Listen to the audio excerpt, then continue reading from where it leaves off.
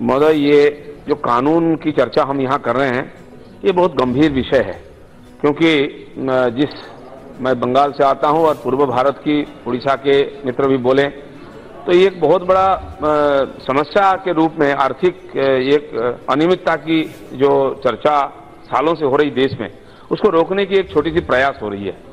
और ये कम से कम माननीय प्रधानमंत्री जी और वित्त मंत्री जी का जो साहसिक कदम है इसके पहले भी सरकार ने ऐसा बहुत कानून बनाया है, काम भी किया है डिमोनिटेशन से लेकर जीएसटी उसी प्रकार ये भी एक बहुत बड़ा ऐतिहासिक कदम होगा, क्योंकि कई सालों से जो चर्चा में आया है, हज़ारों लाखों लोगों को चीट फांड के माध्यम से लूटा गया है। जिस गरीब लोगों को कभी मदद करने के लिए चिटफंड की कल्पना आई थी, आज उस लोगों को लूटने के लिए इसकी इंस्ट्रूमेंट के रूप में उपयोग हो रही है।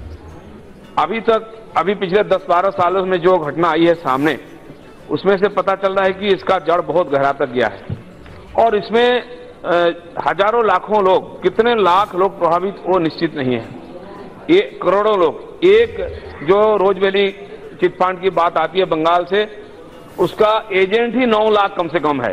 तो ग्राहक कितना होंगे, आप समझ सकते हैं। इतनी बड़ी समस्या है। तो ये जो कानून एक दायरे में हम बना रहे हैं, मुझे लगता है दायरा बहुत बड़ा है। ये हाथी को अंकुश से संयत करने का प्रयास हो रही है।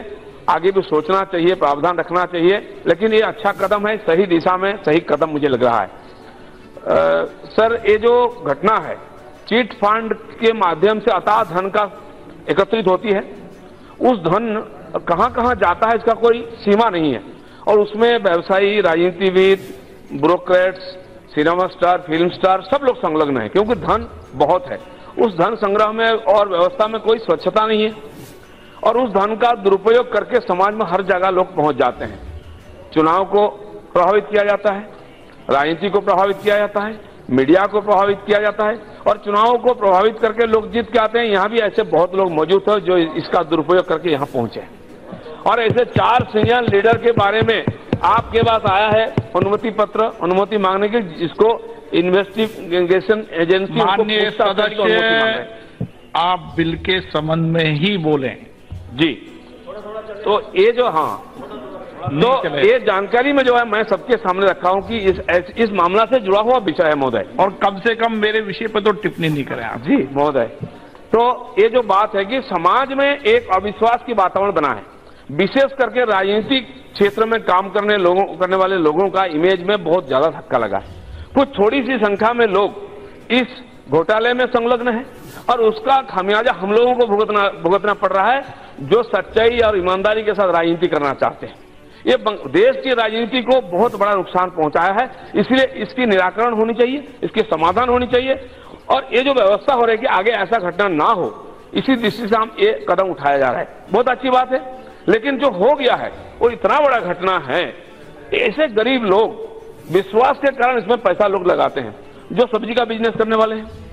जो और छोटी मोटी रिक्शा चलाने वाले, टोटो ऑटो चलाने वाले लोग हैं, जो बेटा का ऊँचा पढ़ाई करने के लिए पैसा रखा था, बेटी की शादी के लिए रखा था, कभी पक्का मकान या तो घर का छत बनाने के लिए पैसा रखा था, इनका सारा सामान, सारा पैसा लूट गया है वो हाहाकार कर रहे हैं। ऐसे बहुत लोगों को मैं जानता हूँ, जो नौकरी करते थे और पेंशन जो मिला उनको रिटायरमेंट के बाद सारा पैसा इसमें लगा दिया गया और सारे का सारा लूट गया, वो बेसहारा बेचारा रो रहे हैं। इस प्रकार जो घटना हुआ है, ये देश के लिए, देश की आर्थिक व्यवस्था के लिए बहुत बड़ी एक चैलेंज था। मुझे लगता है कि सरकार ने जो कदम उठा रहे हैं, बहुत अच्छा है।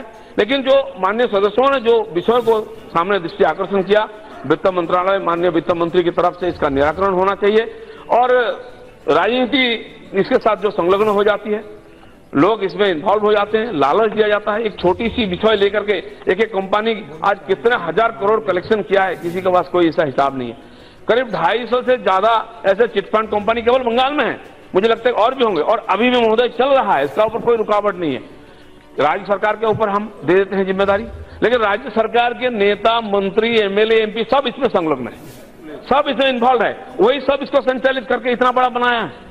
और राजनीति को कलुषित किया है, बहुत दुर्भाग्यजनक स्थिति है। मुझे लगता है कि एक कानून ज़रूर पास होना चाहिए, और चाहे तो इसको और कड़ाई कड़ाई से करना चाहिए, डोज थोड़ा और बढ़ाना चाहिए। नहीं तो बीमारी को उन्मूलन करना मुश्किल है। धन्यवाद।